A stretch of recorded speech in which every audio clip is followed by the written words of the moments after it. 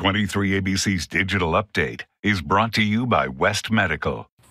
Good evening. I'm Jessica Harrington. Here's what's making headlines around Kern County. The county is following the order from Governor Gavin Newsom asking businesses to require patrons to wear a mask in order to receive service. County Administrative Officer Ryan Alsop is telling local businesses to crack down on mask requirements tonight, saying no mask, no service. Several of the businesses 23 ABC spoke with today say they will not refuse service, but instead will provide a mask if someone doesn't have one. If you're a local business who cannot afford face coverings for customers, make sure you head to kerncounty.com to apply for the county's PPP, PPE program.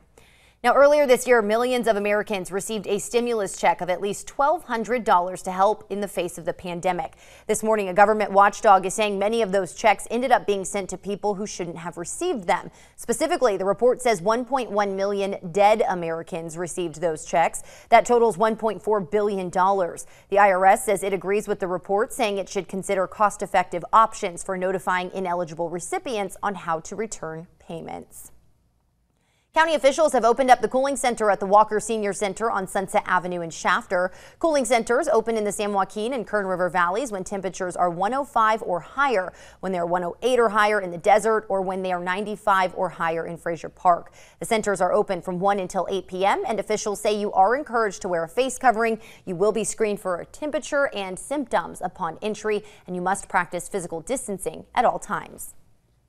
Today, another dry, warm day here in Kern County, but we are tracking actually a couple of thunderstorms just to our north, kind of right along the Sierra Crest there. We've seen a good amount of development through the afternoon hours. Those are going to stay to our north, though. We don't have too much to worry about from those. In general, though, just tracking another warm day for tomorrow. 102 in Bakersfield, 102 in McFarland. A little tiny bit cooler toward Lake Isabella compared to today, 96. There is a small chance that our mountain communities could see one or two little showers for tomorrow. 104 the high temperature at China Lake. And something we're tracking in the short term here is a little bit breezier conditions as we head towards about 5 to 6 o'clock and really through the evening hours you can see our winds are set to pick up here this evening. Seven day forecast does show a more hot weather for the next couple of days. 102 for Friday, 104 on Saturday. That'll be the hottest day of the forecast. Then we start to cool off by Sunday and really see our temperatures drop quite a bit by the time we get to Monday, almost 20 degrees between Saturday and Monday there, and then heating up again toward next week. But no triple digits once we get into next week as of yet. Same story for our mountain communities. Again, one or two little showers or thunderstorms possible in the mountains for tomorrow, and then cooling down as we head into next week. That's your latest news and weather update. For the latest news anytime, be sure to log on to our website, turnto23.com.